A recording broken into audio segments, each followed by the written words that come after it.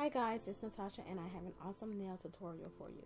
Today I will show you how to create a press-on nail set that is inspired by the Instagram account Glamour Chic Beauty. This is also a two-in-one video and I will show you how to apply them. The tools you will need are four nail tips, one AB rhinestone bow, seven SS8 AB rhinestones. For gel polish, I am using IBD Just Gel in the color Skin Deep. For matte top coat, I am using LAC a gold glitter polish by D&D, number 401 Golden Sahara Star. To create white ombre, I'm using Akzentz Gel Paint in White. To add a little extra to the set, I'm using gold chrome pigment from Daily Charme. And to make the gold chrome pop, I'll use a yellow polish from Nobility. And lastly, for a no-wipe top coat, I'm using IBD. So now that we have all the tools, let's just jump into the press on nail tutorial same time, I started this tutorial with painted nails. The thumb, index, ring, and pinky all received two coats of IBD Skin Deep. I also did two coats of yellow on the middle finger as well. As this video starts, I am painting the thumb, index, and pinky with the matte top coat. This is the prep step to ombreing those three nails. If you don't have a matte top coat, you can simply paint nails with a regular top, cure, wipe, and then lightly buff away the shine. Either way, to ombre you will need to start with a matte surface. Once I am finished painting the three nails, I will cure in a UV lamp for 2 minutes. Just a quick note, lac is best cured in a UV lamp. When they are finished curing, I will remove the inhibition layer with 91% alcohol. Now let's just jump into ombreing. This is a new technique on my channel, so I am going to walk you through the process for two nails. You will need a cosmetic wedge, a clean palette, and white gel paint. It is best to use paint and not gel polish as paint is thicker than has a paint has a thicker viscosity and also it is more pigmented. I haven't used this white in a so I'll just mix it up with a small spatula. Also a quick tip when you're working with sponges and wedges, they easily pick up lint so just go ahead and use a lint remover to help remove the dust. Now you'll want to add white gel to the sponge. I would say about the same amount you would use to paint a nail. Once you try this technique, you'll get a handle on how much to use. Anyway, just go ahead and add the paint to the sponge and then use the palette to dab off the excess. Now lightly dab on the nail. To build up the depth of color, I will do three coats and cure in between. So I'll go ahead and cure this thumb and then I will do the same process on the index finger.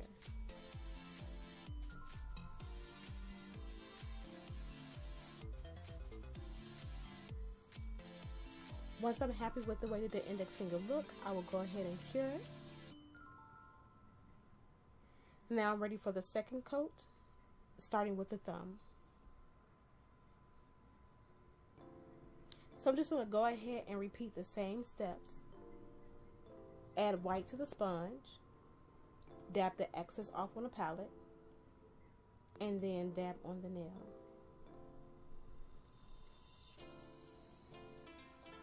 When I am satisfied with the way that it looks, I will go ahead and cure and then move on to the index finger to apply the second coat.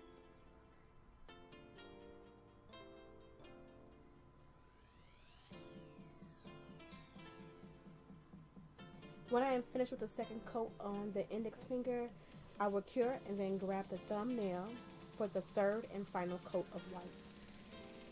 As stated before, I'll just repeat the same steps again Grab the white on the sponge, dab it off on the palette, and then dab it the nail. So off screen, I painted all three nails with IBD top coat and then removed the inhibition layer. The reason I did that was just to save a little bit of time.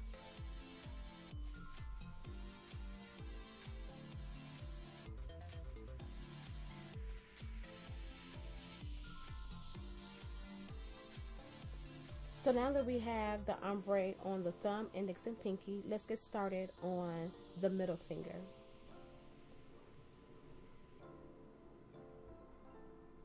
As stated, this is two coats of yellow.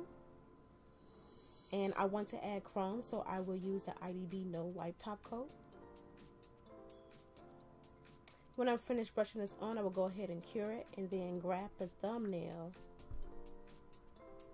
so at the last minute, I decided that I wanted to add a white chrome on top of this nail. And so I will also use the thumb and paint the IBD no wipe top coat on the thumb and then cure. So moving on to the index finger, I wanted to add the 7SS8 AB rhinestones. To secure them to the nail, I'm using Jenny Secret gel. This gel was created by the nail tech who does Cardi B Swarovski crystal nails. So I'm going to add a medium layer of this gel on the nail bed and uh, before I cure I will just add the rhinestones using a wax pencil. So these are not Swarovski crystals but they are a very high quality rhinestone. They are definitely, they definitely do sparkle. They do lean towards the same kind of AB look that a Swarovski crystal looks like. And they don't use lose their shine quickly.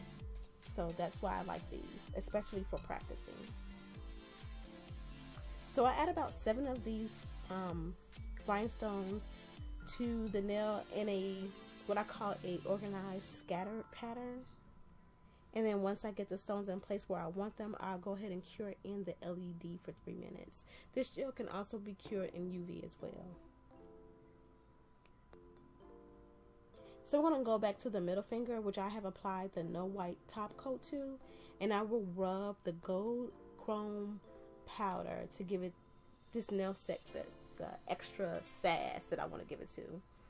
And once I'm finished with that, I'll just go ahead and brush on no wipe top coat just to secure the chrome onto the nail and then cure.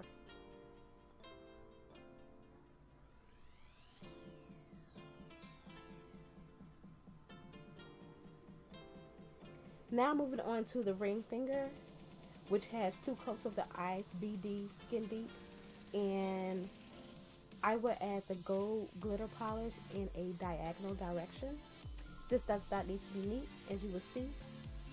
Once I'm happy with the, the coverage, I'll go ahead and cure. Now back to the thumbnail. It has cured um, no wipe gel top on it, and I'm going to add the white chrome to it. I will use a cosmetics wedge, and I'll rub in the chrome until I'm happy with the results. And then brush on a no-wipe top coat, and then cure. So I'm going to go back to the ring finger for a second coat of gold glitter because it's not as in-depth as I want it to be. And when I'm happy with the coverage, I'll go ahead and cure. So now here's like the fun part of the service, I guess. I'm going to go ahead and add the rhinestone bow to the middle nail um, to make this set like the perfect girly girly look. So I'm going to remove the shine with my nail file and then use acrylic to adhere the decoration to the nail. Currently, I am using Mia Secret acrylic system, and I will also use a number 7 alpha brush. So I will place a wet bead on the nail and then wait a few seconds for the acrylic to become matte.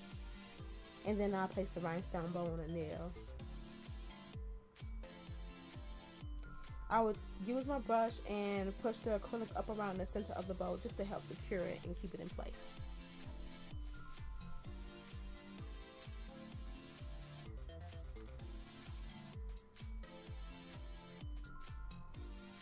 Okay, so now we're getting towards the end of the press-on-nail set. Um, the last thing I'm going to do is add top coat to the glitter ring finger I'll cure it and then I will remove the inhibition layer off camera.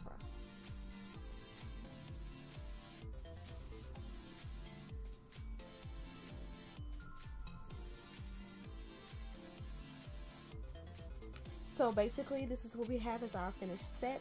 It is super gorgeous, really, really pretty.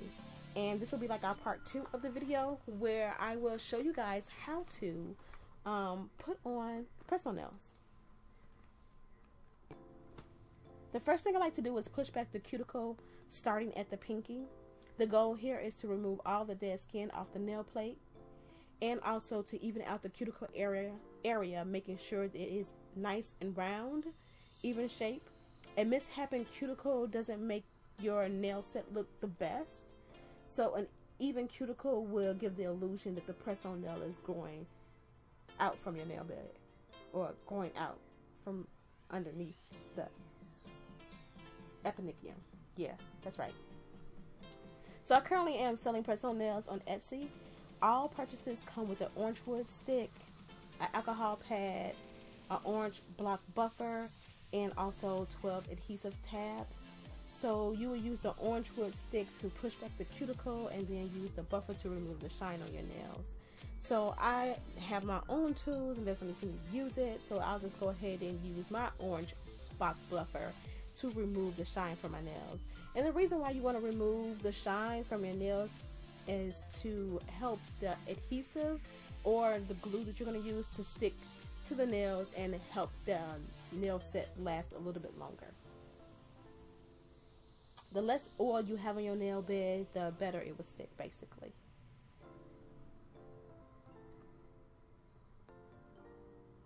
So once you're finished buffing your nails to remove the shine, you want to use the alcohol pad to remove the dust and the oil from your nail bed.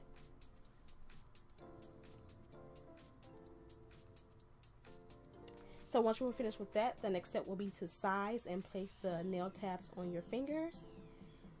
So what I'd like to do is to find the size closest to my nail bed size and then peel from the packaging and place it on my nail bed you should get a nail tab that is closer to your nail size so that you won't get um, water and dust underneath your nail which basically promotes um, like debris to get under there and also may cause a greening which you don't want.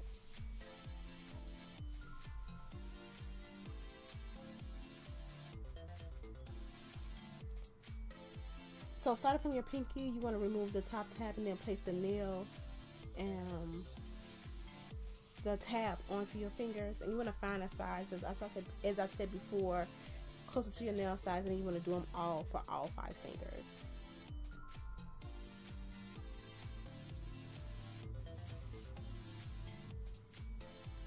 So now it's time to start adding the press on nails. So starting from your pinky just remove the top tab and place the press on nail from your nail starting from the eponychium from the back cuticle part and like rock it towards the free edge press and then hold it for five seconds release and then move on to your next finger and just continue to repeat the steps until you're finished